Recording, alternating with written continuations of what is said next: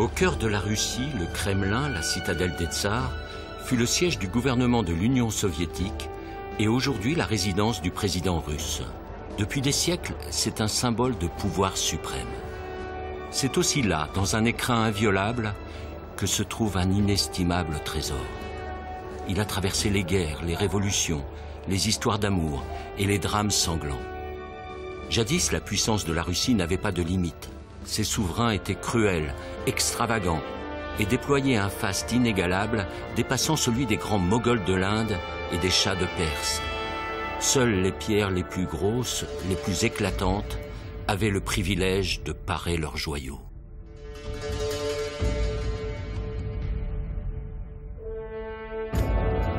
La majorité du trésor a été constituée au XVIIIe siècle. Entourés des meilleurs joailliers, les tsars font venir leurs diamants d'Inde, des mines mythiques de Golconde.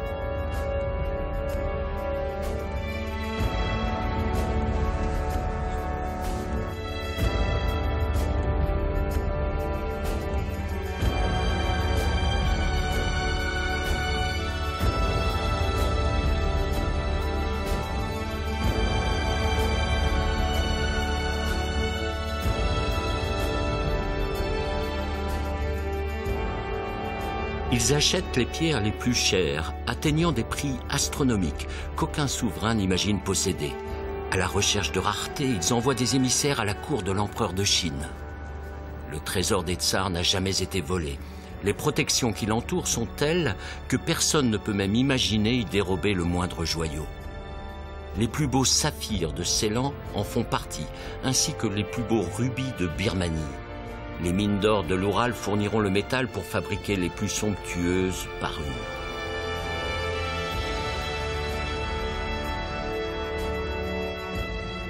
Sur les marchés d'Europe occidentale, ils se portent acquéreurs des diamants du Brésil, nouvellement découverts. Ils en constellent leurs bijoux.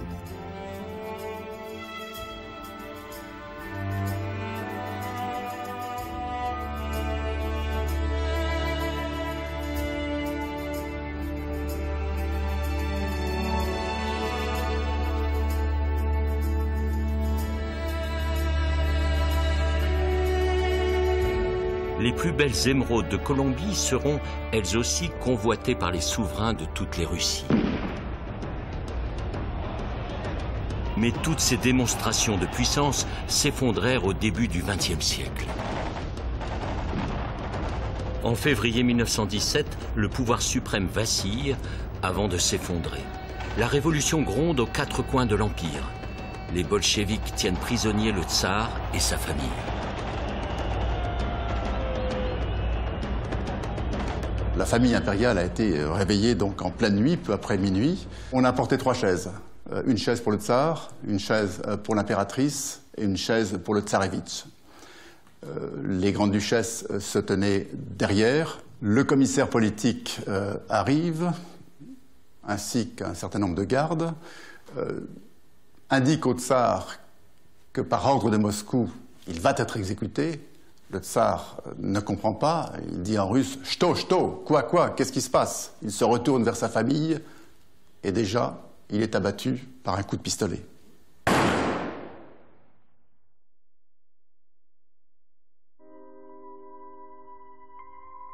L'impératrice tente de faire le signe de croix, elle n'en a même pas le temps. Elle-même est abattue, ainsi que les grandes duchesses, dans un carnage tout à fait effroyable. L'impératrice et les grandes duchesses avaient caché euh, dans leurs vêtements une quantité assez impressionnante de bijoux, plusieurs kilos pour chacune d'entre elles. Et ce qui s'est passé à ce moment-là, c'est que la plupart des balles donc, euh, ont été déviées, littéralement déviées euh, par les pierres précieuses, et ont donc empêché la mort rapide. Et dans les bijoux, qui étaient donc dans les vêtements de l'impératrice, on a retrouvé ce fameux rubis de Raspoutine, mon grand-père, euh, le colonel Alexandre de Fermort, euh, aimait à raconter une histoire assez étonnante. Ce rubis avait été offert à l'impératrice euh, par Raspoutine, moine fou de Dieu, qui s'était introduit dans le couple impérial, pour guérir le tsarevitch qui était hémophile. Le rouge éclatant du rubis était censé, par sa force mystérieuse, stopper les hémorragies de plus en plus fréquentes chez l'enfant malade. Selon la légende, en fait, euh, le rubis euh, donc est maudit. Rasputin, qui l'a possédé le premier, est mort, assassiné par le prince Yusupov. L'impératrice périt avec les siens à Yekaterinbourg. Cette malédiction s'était poursuivie dans le temps. Lorsque le rubis est retrouvé, euh, il est donné au commandant en chef euh, de l'armée rouge, Léon Trotsky. Celui-ci tombe en disgrâce, il meurt assassiné au Mexique. Le rubis, lui, est resté en URSS. Au bout d'un certain nombre d'années, celle-ci finit par se désagréger. La destinée des tsars est ponctuée par l'histoire de ces joyaux qui nous font remonter dans le temps.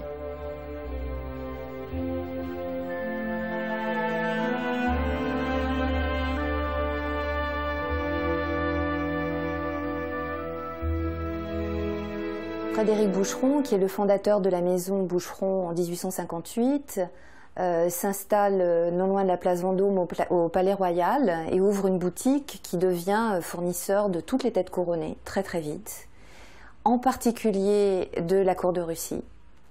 Et on retrouve une photo qui est une photo qui représente le tsar, l'impératrice, et on remarque qu'elle porte toujours une petite tiare, une couronnette, dont on ne savait pas si c'était la nôtre ou pas. On est absolument sûr maintenant que c'est la tiare euh, qui a été faite pour euh, l'impératrice. Ce qui est très intéressant, c'est de voir à la date à laquelle elle a été achetée. Et cette date, on la retrouve dans le livre de commande de 1894, où nous avons Son Altesse impériale, Monseigneur le Grand-Duc Tsarevitch de Russie, en passant par Paris pour aller au château de Windsor pour les fiançailles officielles avec Alexandra, il s'arrête chez Boucheron et il achète cette tiare. C'était tout à fait un, cadeau sentimental, un cadeau d'amour d'un jeune fiancé qui est d'ailleurs amoureux d'Alexandra depuis de très très longues années. Hein. C'est une, histoire d'amour extrêmement euh, passionnelle qu'ils vivent. On pense que cette, euh, cette petite tiare dont on a effectivement complètement perdu la trace, on ne sait pas du tout ce qu'elle est devenue, euh, était portée euh, par l'impératrice euh, et ou ses filles au moment où ils ont été, où ils ont été assassinés.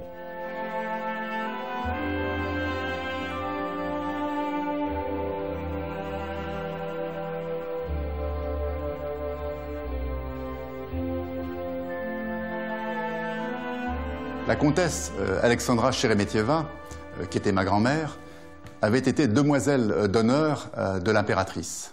Elle a donc assisté au couronnement à Moscou le 14 mai 1896. Elle en a gardé le souvenir d'une cérémonie qui s'était déroulée dans un faste absolument inouï, empreint de, mysticisme, de, de grande ferveur religieuse. Au crépuscule du XIXe siècle, les pierres précieuses du monde entier ont convergé vers la Russie. L'apparat était à son comble.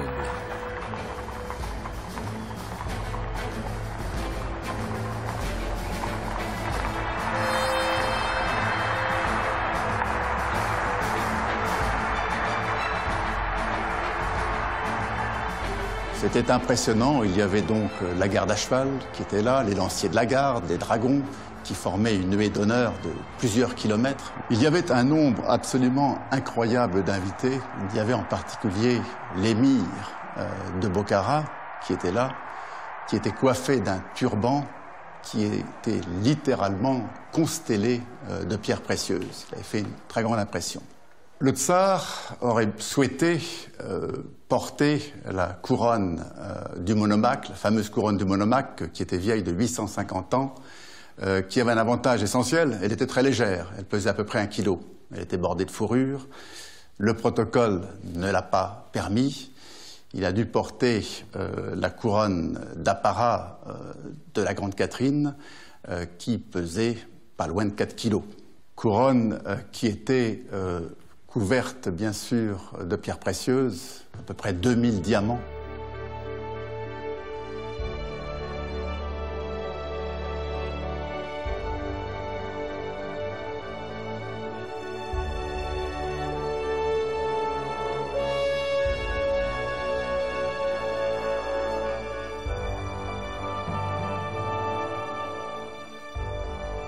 L'impératrice avait une robe qui avait été brodée euh, par les nonnes euh, du couvent d'Ivanovski, robe qui était parsemée de dix mille perles. Sur sa poitrine, l'ordre de Sainte Catherine, attaché par un énorme diamant. C'est le tsar qui pose sur sa tête sa couronne.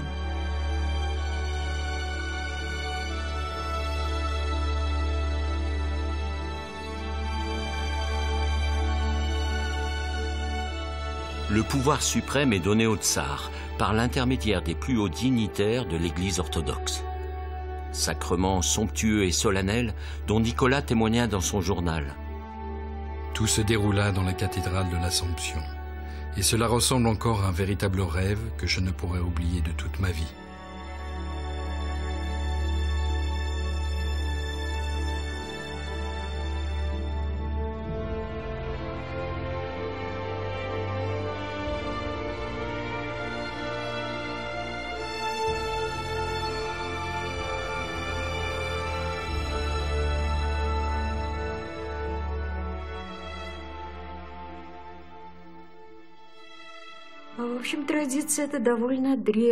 C'est une vieille tradition russe.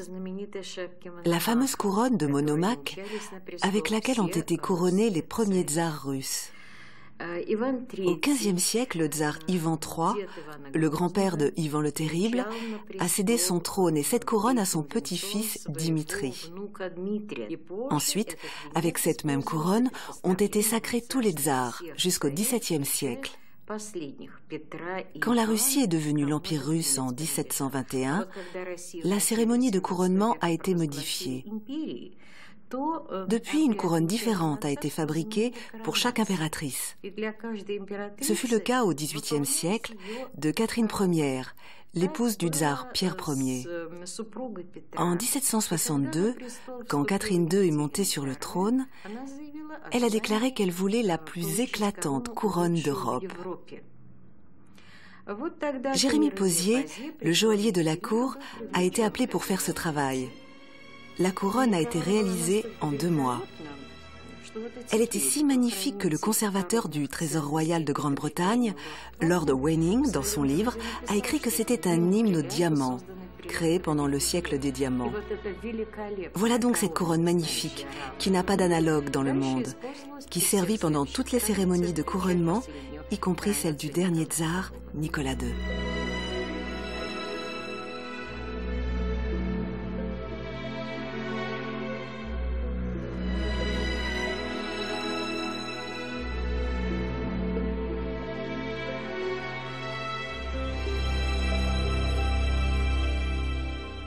Comme dans toutes les courses européennes, la cour de Russie donc était très attirée donc par euh, les diamants, par les pierres précieuses qui symbolisaient effectivement le faste de cette cour. Et ce faste a connu un, degré d'importance de plus en plus euh, grand avec le XVIIIe siècle, notamment avec l'impératrice Élisabeth et en particulier avec euh, l'impératrice Catherine II, donc la grande Catherine, sous le règne de laquelle un certain nombre de pierres très importantes sont entrées dans les collections impériales.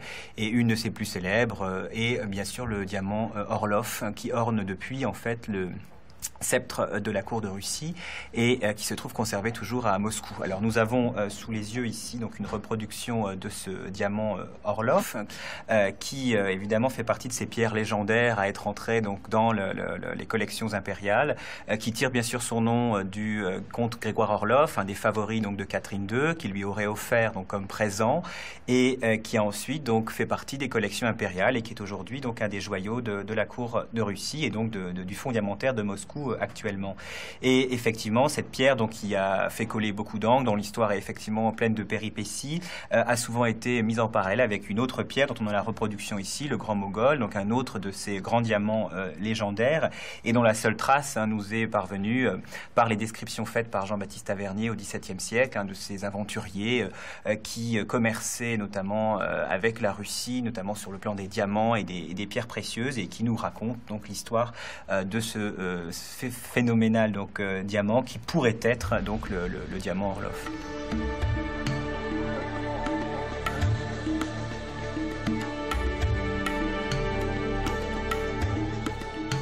L'histoire de ce grand diamant commença dans le sud de l'Inde, près d'une ville connue depuis des siècles, Golconde.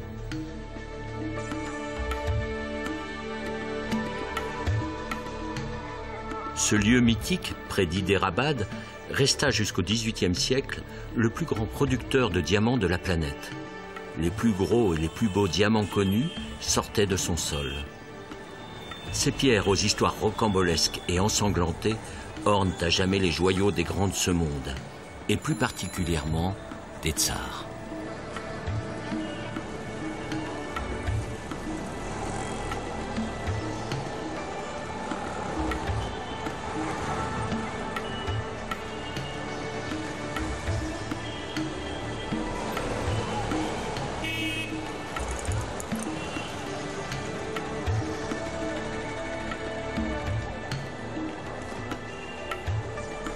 Encore aujourd'hui, les puissants remparts de la ville se dressent fièrement. Ils ont protégé pendant des siècles les diamants de l'Inde. Il y a bien longtemps, leur découverte se fit d'une manière plutôt surprenante. Dans cette région fertile, un paysan se rendait comme chaque matin à son labeur. Ce jour-là, il devait semer son champ, labourer la veille.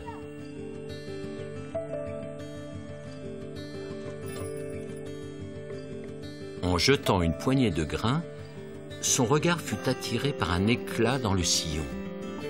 Il n'avait jamais vu une pierre aussi brillante. Pressé de monnayer sa trouvaille et fasciné par la beauté du minéral, mais sans savoir qu'il venait de trouver un diamant, il le ramasse et se rend à Golconde, la ville la plus proche.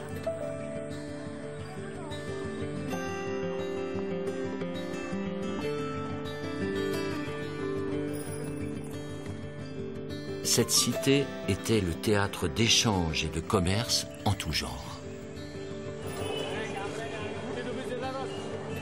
Pour quelques pièces, un bijoutier lui racheta la pierre, puis elle passa de main en main. Rapidement, son prix et la rumeur augmentèrent. Les diamants de Golconde venaient d'être découverts. Les recherches commencèrent sans tarder et des pierres énormes sortirent de ces mines. Les cours du monde entier s'y fournissaient, et principalement le tsar.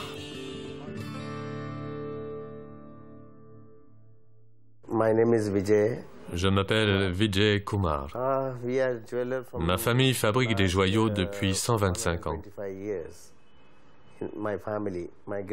Mon arrière-grand-père a démarré son activité dans le quartier de Charminar. À Golconda, il n'y a plus de mines, mais les diamants sont toujours très renommés. Leur éclat est unique. Si vous comparez ces diamants et ceux d'autres mines, vous verrez une différence évidente. Ces diamants ont un éclat incomparable et leur présentation est très belle. Ces mines ont produit un grand nombre de diamants de variétés et de couleurs différentes. Personne ne sait avec exactitude quand la production a commencé. Sous les Nkuli je crois. Une grande partie prenait le chemin de l'étranger.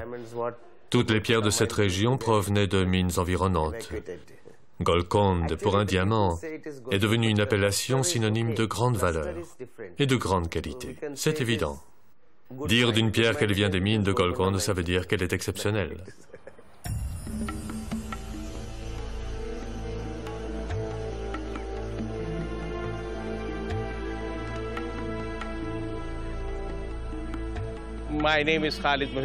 Je m'appelle Khaled Mouhidi.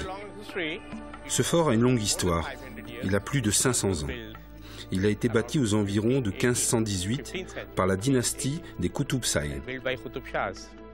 Certains historiens font remonter sa construction à 2000 ans.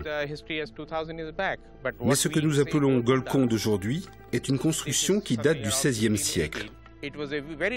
C'était une région très riche. L'extraction des pierres ne se faisait pas dans l'environnement proche de la ville.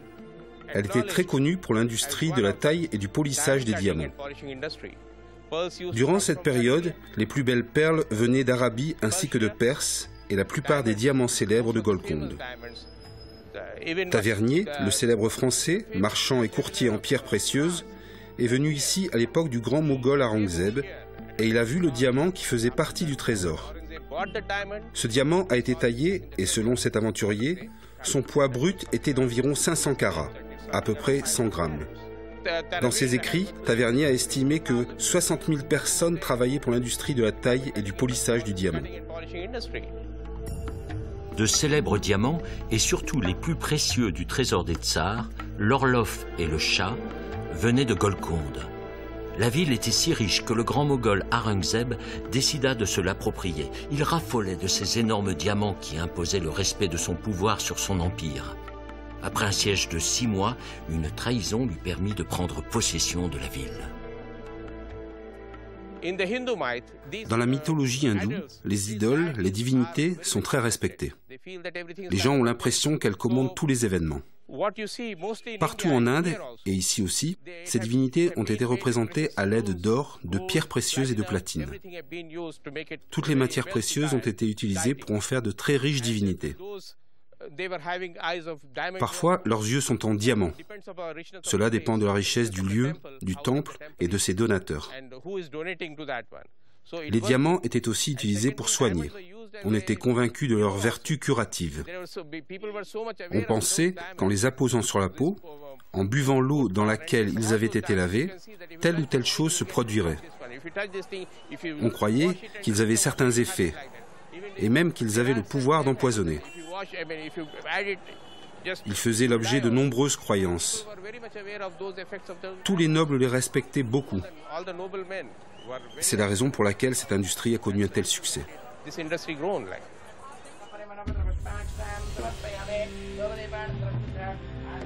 C'est dans le temple de Srirangam, en Inde méridionale, que commence l'histoire incroyable du diamant Orlov.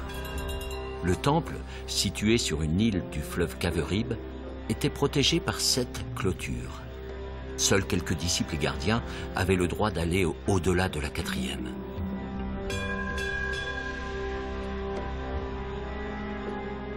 Une nuit, un grenadier français déserteur qui était converti à l'hindouisme et adorateur du temple depuis plusieurs années parvint à subtiliser le diamant qui remplaçait l'œil de la principale idole. Il s'enfuit et vendit la pierre qui, passant de négociant en négociant, finit par arriver à Amsterdam.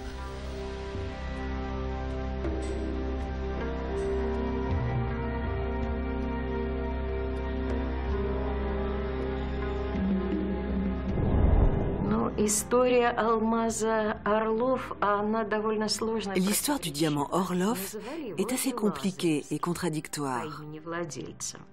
On l'appelait aussi le Lazarev, qui était le nom de son précédent propriétaire.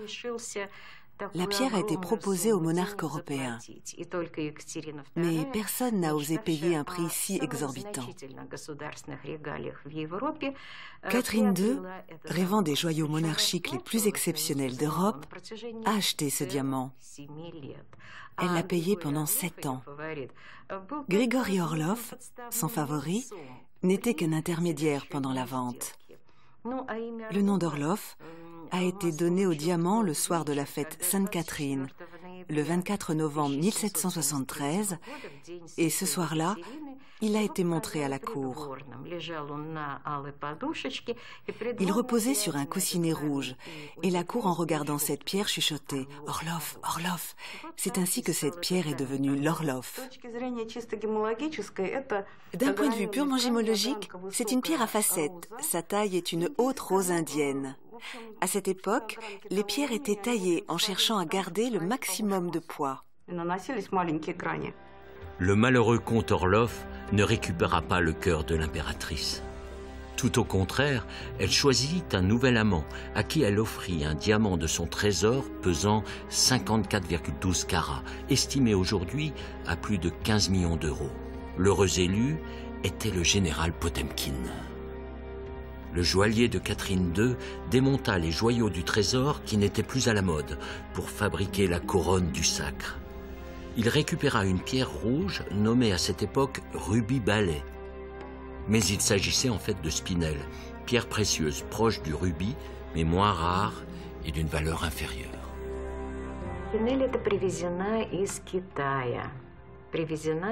Ce spinel est rapporté de Chine en 1672 par l'ambassadeur russe Nikolai Spafari et remis au tsar Alexis Ier dit le tsar très paisible, le père de Pierre Ier. Au XVIIIe siècle, il ornait les couronnes des impératrices russes en changeant d'une couronne à une autre. C'est le fameux joaillier de Catherine II, Jérémie Posier, qui la réalisa. À partir de cette date, elle servit au couronnement de tous les empereurs. Il sertit cette énorme spinelle rouge à son sommet.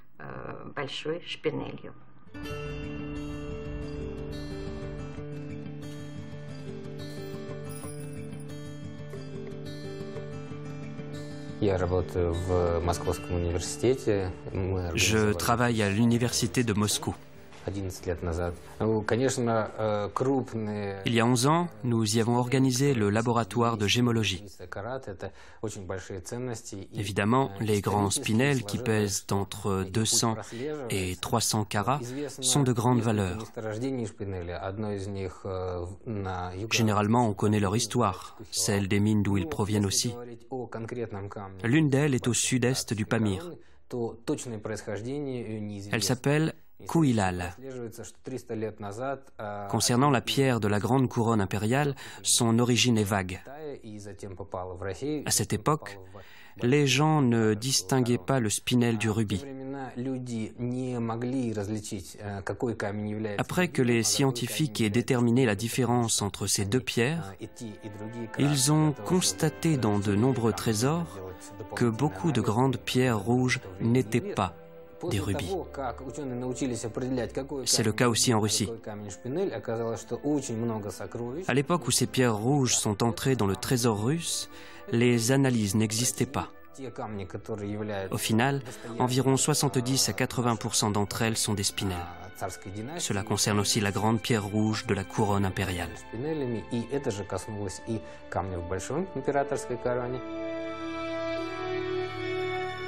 À la fin du XVIIe siècle, les diamants d'Inde deviennent de plus en plus rares.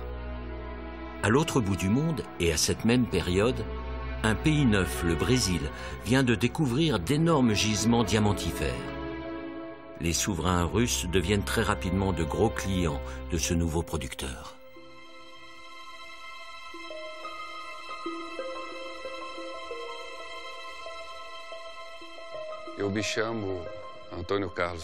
Je m'appelle Antonio Carlos Fernandez. Je suis historien. Le départ de la colonisation effective du Minas Gerais au Brésil par les Portugais remonte au début du XVIIIe siècle, commençant aux alentours de l'année 1690 et se poursuivant jusqu'en 1715.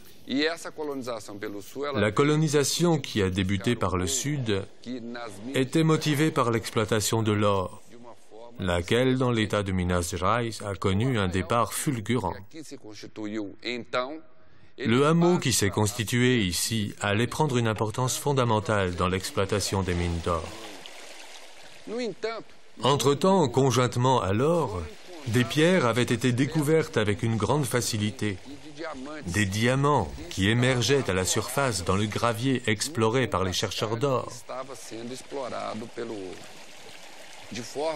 Ainsi, la population locale, sans en connaître la valeur, sans même savoir comment gérer cette nouvelle découverte commerciale, a utilisé ces pierres, selon les légendes locales, de différentes manières, allant même jusqu'à les employer pour les jeux de cartes.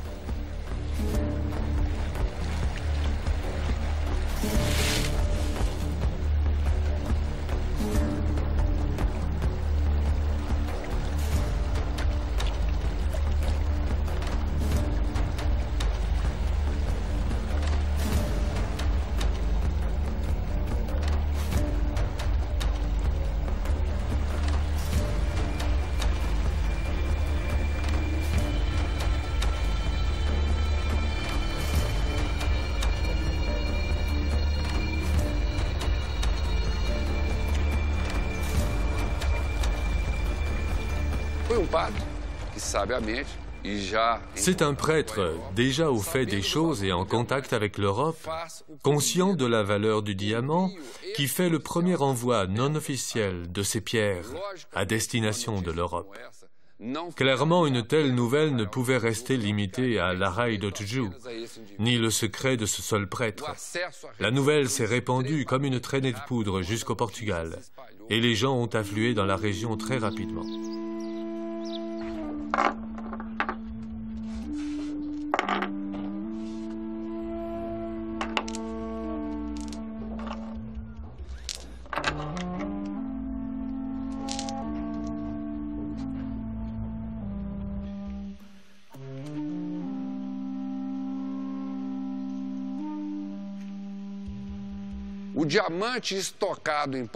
Les diamants envoyés au Portugal, à Lisbonne, ont joué un rôle d'une telle importance dans l'équilibre des finances portugaises que le roi porta une attention toute particulière à la raille de Tijuca et ne permit pas en fait qu'un quelconque mineur ait librement accès à cette ville.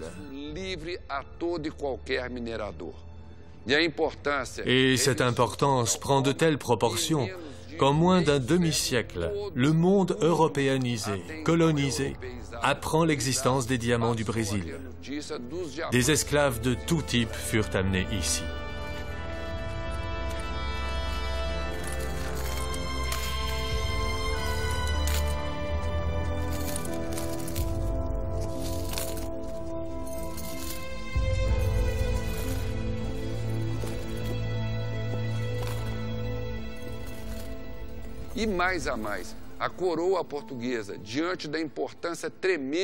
Les diamants ont servi en grande partie à rembourser les différentes dettes contractées par le gouvernement portugais auprès de la couronne britannique.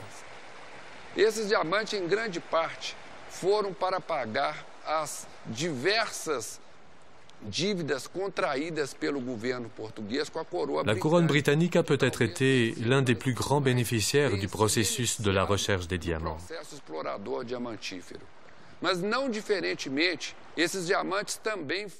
Mais ces diamants sont également parvenus aux différentes couronnes européennes au Bourbon d'Espagne, au Bourbon de France, à Catherine II de Russie.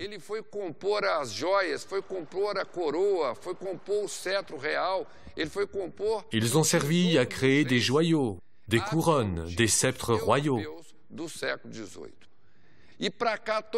Il est encore possible d'observer une activité en plein fonctionnement à Diamantina, impliquant divers garimperos.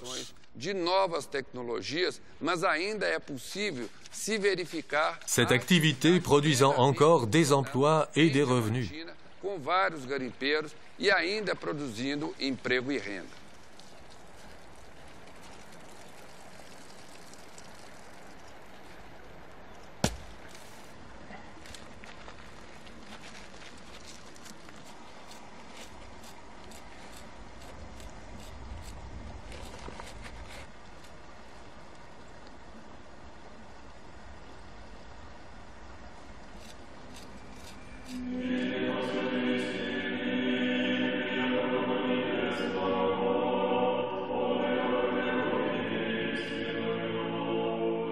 Petits et gros, les diamants du Brésil ont servi à partir de 1762 à couvrir les bijoux de Catherine la Grande. Mis à part son goût démesuré pour supprimer ses ennemis et pour choisir ses amants, la tsarine fit resplendir son empire. Elle s'entoura des plus grands artistes, des meilleurs joailliers, rallia à sa cause les intellectuels de l'époque.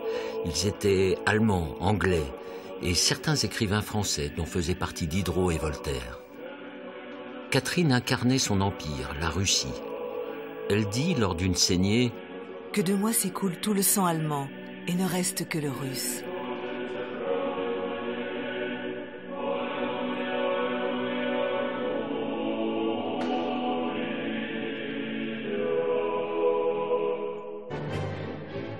La grandeur de Saint-Pétersbourg tenait au luxe de ses palais.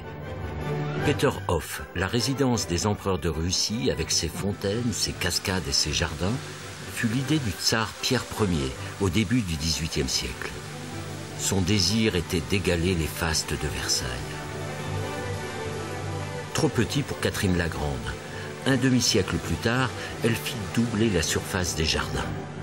De même pour le palais d'hiver, elle l'agrandit en y rajoutant une bagatelle, l'Ermitage. Avec une sorte de frénésie, mais du panache et du prestige, elle fit construire, embellir et redorer son empire. Mais l'une des plus belles merveilles de l'opulence impériale russe est sans aucun doute Tsarkoye Selo, qui reste aujourd'hui la demeure la plus vaste d'Europe. Ce palais, dont la construction commença en 1711 sous le règne de Pierre Ier, sa fille Élisabeth, qui lui succéda, le transforma avec un luxe baroque inouï, ce qui le fit comparer à une constellation céleste.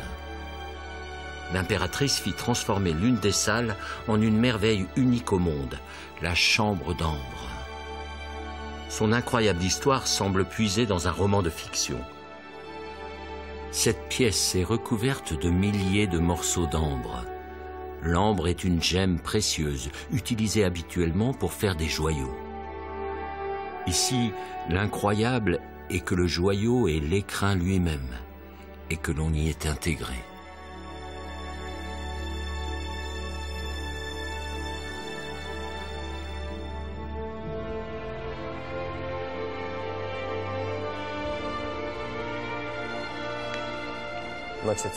Sa surface est proche de 100 mètres carrés. C'est un carré de 10 mètres sur 10 mètres. Et sa hauteur est de 7 mètres.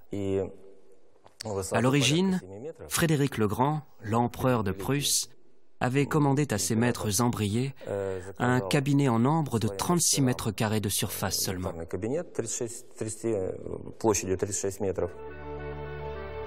Tout cet ambre venait des côtes de la mer Baltique, appartenant jadis à l'Empire de Prusse, future Allemagne. Une ville, Gdansk, située en Pologne, en fit depuis des siècles sa spécialité. Elle forma les meilleurs artisans embriés du monde, où les cours d'Europe se fournissaient pour la finesse et l'excellence de leur création.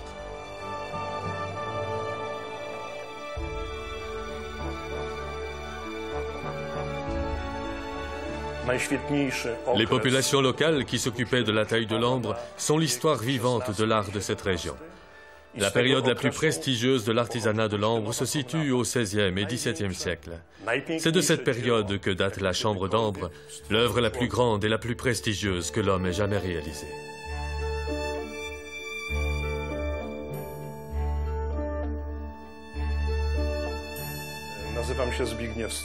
Je m'appelle Zbigniew Strelczyk, je suis maître embrié de Gdansk, cette ville et l'Ambre ont traversé les aléas de l'histoire.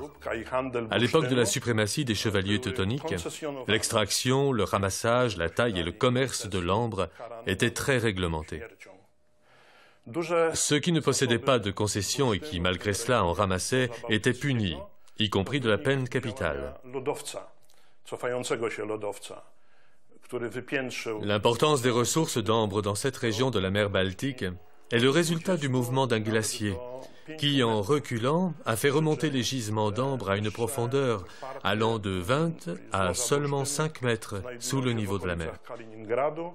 Les gisements les plus proches de la surface se trouvent dans la région de Kaliningrad, en Russie. Aux alentours de Gdansk, ces gisements se situent vers les 20 mètres de profondeur. On peut également ramasser l'ambre sur les plages, en particulier après de forts vents en provenance du nord-est, ainsi qu'après les tempêtes.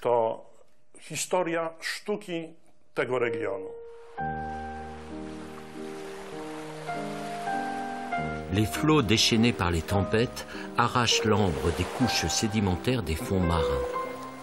Cette résine fossile, datant de plusieurs dizaines de millions d'années, a une densité si faible qu'elle flotte sur l'eau salée de la mer Baltique.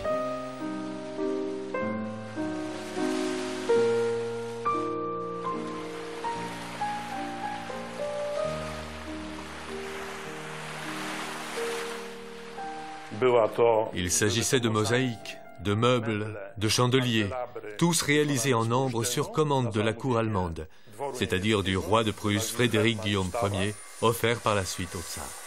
En 1701, l'empereur de Prusse demanda à un maître embrier, Gottfried Wolfram, de commencer la décoration d'un salon en ambre. Cinq ans plus tard, un mur était prêt, puis les autres. Et enfin le roi ordonna de cesser les travaux et fit stocker les panneaux dans la salle des armes de son palais. Lorsque Pierre Ier, tsar de toutes les Russies, se rendit en Prusse, la future Allemagne, l'empereur lui offrit 18 caisses contenant la fameuse chambre d'ambre. En échange, son impériale majesté reçut un navire construit dans le chantier naval de Saint-Pétersbourg. Une trentaine d'années plus tard, l'impératrice Élisabeth se souvint de cette merveille et demanda à l'architecte Rastrelli de l'intégrer dans son palais de Tsarkoe-Selo. Des fêtes somptueuses y furent organisées à l'époque d'Élisabeth, mais aussi de Catherine et de tous leurs successeurs sur le trône.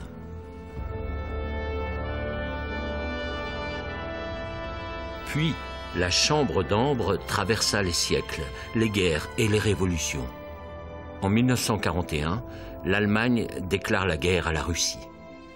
La progression des nazis est rapide. Et la même année, ils envahissent la ville de Pushkin, où se trouve le palais Tsarko et Selo. Ils y resteront trois ans et demi. En 36 heures, les panneaux de la chambre d'ambre furent démontés et envoyés à Königsberg, en Allemagne. Le pouvoir nazi déclara qu'il était indispensable de faire tout le nécessaire pour que ce chef-d'œuvre revienne en Allemagne, sa patrie.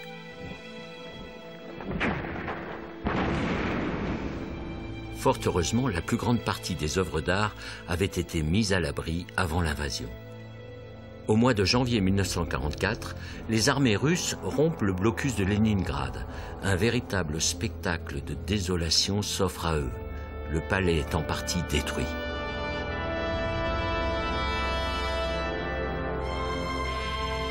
À leur tour, les villes allemandes subissent des bombardements massifs l'armée soviétique entre en Allemagne. La chambre d'ambre est démontée dans la hâte par les Allemands et tout d'abord cachée dans les sous-sols du château, puis évacuée loin de la zone des combats. Sa destinée restera inconnue.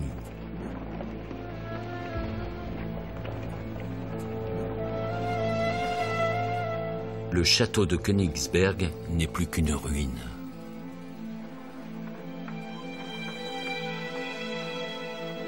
À la fin de la guerre, les forces alliées retrouvèrent de nombreuses œuvres d'art volées par les nazis, mais pas la chambre d'ambre.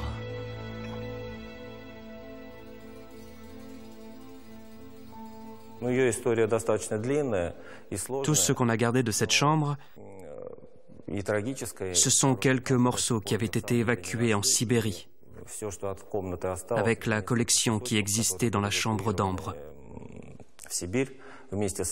Donc, pour la reconstitution, nous disposions de la documentation suivante. Les photos, faites avant la guerre, et des petits morceaux d'ambre appartenant à la chambre qui nous ont beaucoup aidés. Premièrement, ils ont montré la couleur. Tout ce que vous voyez ici, c'est artificiellement coloré. Tout cela a été coupé sous un microscope. La méthode est la suivante. Sur l'intérieur, on creuse une entaille et au-dessous on met de l'aluminium doré. De cette manière, bien que tous les éléments soient plats, ils prennent un effet de relief à vue.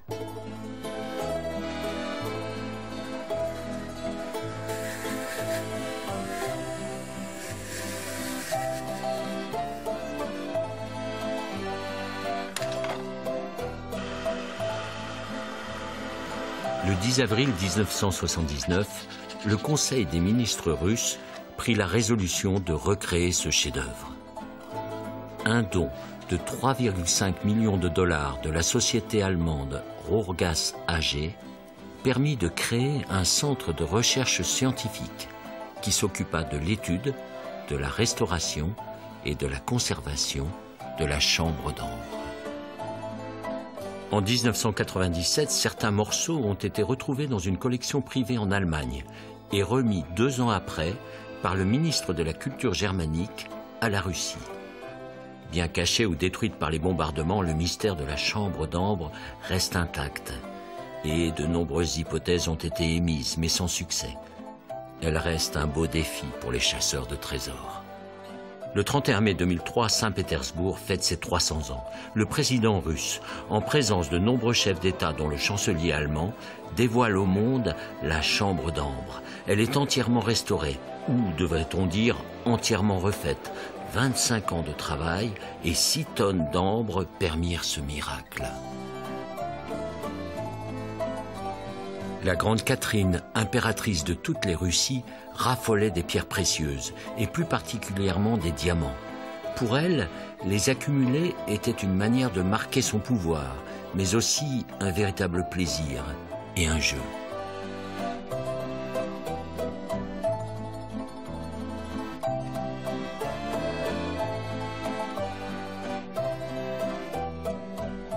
Elle disait Ah, que j'aimerais jouer aux cartes en mettant des diamants en jeu. Cela me rappelle les contes des mille.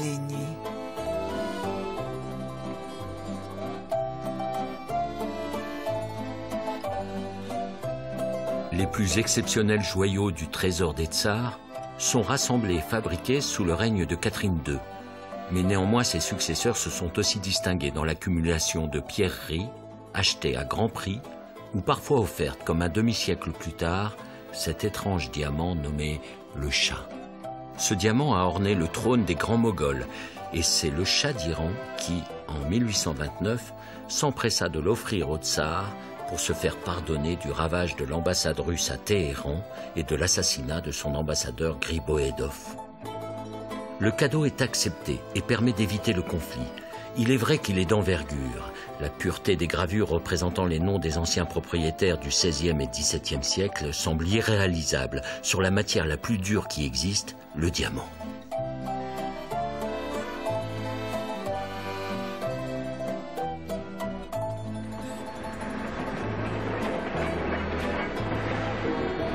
Après la grandeur vient la décadence. Le peuple a faim. Le pouvoir échappe à Nicolas II, le dernier des tsars le trésor tombe entre les mains des bolcheviks. Lénine déclare qu'il faut le préserver et que tous les trésors nés de l'oppression des travailleurs et qui, jusqu'à présent, étaient la propriété exclusive des classes dominantes, devaient être ouverts et rendus accessibles à ces mêmes travailleurs. Le trésor des tsars fut exposé dans les musées. C'est ainsi qu'une commission gouvernementale fut chargée d'expertiser et de séparer les objets de moindre valeur artistique qui furent mis aux enchères. Au moment de la révolution russe, on a transféré une bonne partie donc, des, joyaux euh, de la couronne et des bijoux, des trésors de la famille impériale donc, euh, à Moscou, où ils ont été inventoriés pour une première fois de manière très scientifique, donc dès 1922, euh, avant qu'une partie en fait soit séparée. C'est-à-dire qu'on a choisi de conserver les bijoux à caractère historique, donc les pierres les plus célèbres, les régalias, c'est-à-dire les, les, objets symboles du pouvoir, qu'on les a conservés donc à Moscou en tant que trésor national. En revanche, une autre part, donc des bijoux, euh, des diadèmes, des insignes, euh, des décorations, des bijoux très diverses, ont été euh, envoyés chez Christie's, donc font partie des, nombreuses ventes soviétiques organisées, là, celle-ci en 1927 à Londres. Et il est vrai qu'un certain nombre de pièces donc, ont été vendues à cette occasion. Aujourd'hui, on en localise certaines dans des collections notamment aux États-Unis, mais parfois il arrive encore que certaines de ces pièces donc, réapparaissent sur le marché de l'art. En novembre 2006, la société d'enchères Sotheby's met en vente à Genève un bijou de provenance impériale.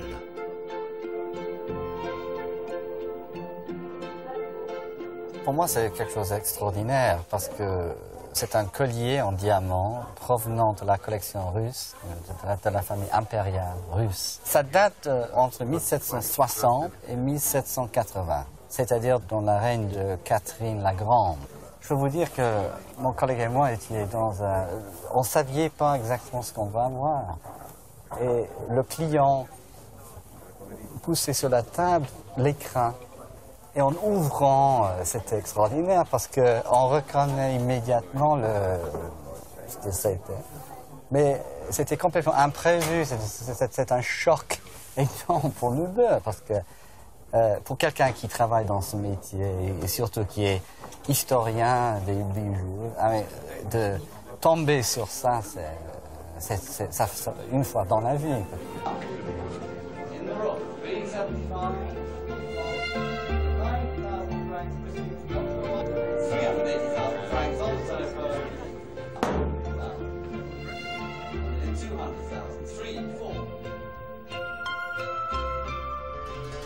Les pierres précieuses du trésor des tsars vecteurs de la lumière divine, ont nourri le pouvoir monarchique pendant des siècles.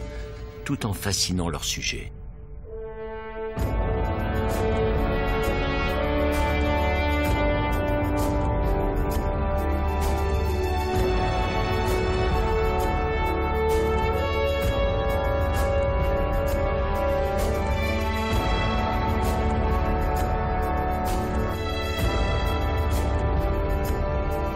Destin fait disparaître les hommes, aussi puissants soient-ils.